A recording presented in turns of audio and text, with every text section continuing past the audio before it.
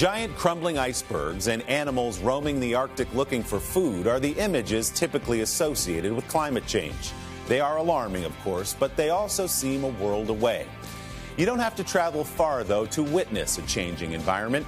Just across the river from where I'm standing, as a matter of fact. For a variety of reasons, coastal position, the jet stream, quickly warming waters among them, New Jersey is considered by many scientists to be ground zero for climate change in the United States. As part of our NBC News series Climate in Crisis, Anne Thompson visits the Garden State in our Sunday Spotlight. You don't have to go to where polar bears live to see the impact of climate change. In fact, ducks will do just fine. This is Lake Hopatcong in the exotic locale of New Jersey. I imagine when we do this story, people are going to go, climate change? New Jersey? Mm-hmm. yeah. For Jessica Murphy, it's no laughing matter. Lake Hopatcong, where she grew up, got married, and still spends summers, fouled this year by an algae bloom, restricting swimming for much of July.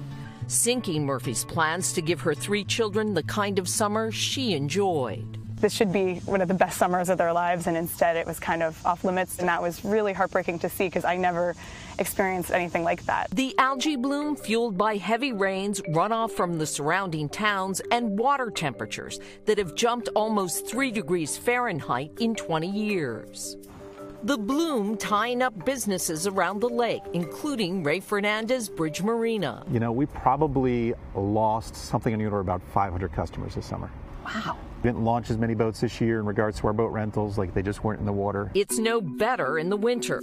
A century ago, this was home to a thriving ice business where people skated and even sailed on the frozen lake.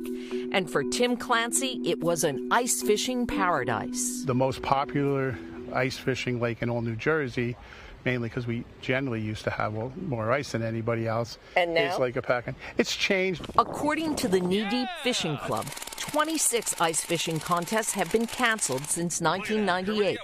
The water just doesn't freeze enough. To think that, you know, in our watch, that we're going to let this slip through our hands. I hope not. State climatologist Dave Robinson says New Jersey's climate is out of balance, with many more record warm months than cold. Average temperatures have climbed 3 degrees Fahrenheit in the last century, the only state in the lower 48 warming more, Rhode Island. And what's causing this warming? Well, it's overall, it's the global warming pattern that we're seeing from human activity with impacts across New Jersey. At the shore, sea level is up 15 inches in the last century, leaving communities even more vulnerable to events like 2012 Superstorm Sandy. And in the Pinelands, winters are no longer cold enough to kill off invasive species. At the lake, Jessica Murphy is heeding the many red flags of climate change. If it can happen in, in this little uh, in this little corner of the world, you know, it can really happen anywhere. A once future threat now at our shores. For Sunday Today, Anne Thompson, Lake Hopatcong, New Jersey.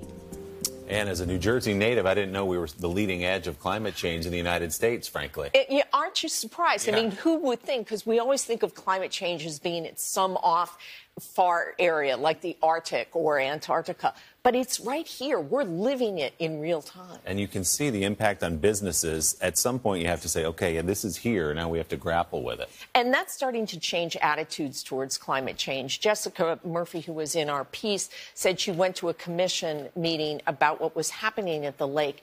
And when they put up the chart about what's happened to water temperatures in the last 20 years, all of a sudden minds started to open because it wasn't a political issue. It was science, and it was right in front of them, and it's affecting their lives. Be turning some skeptics. Such an interesting piece, Anne. Thanks so much. Appreciate it. You can catch more of our series, Climate in Crisis, across the platforms of NBC News, including a special report from Al Roker in Greenland tomorrow on Today.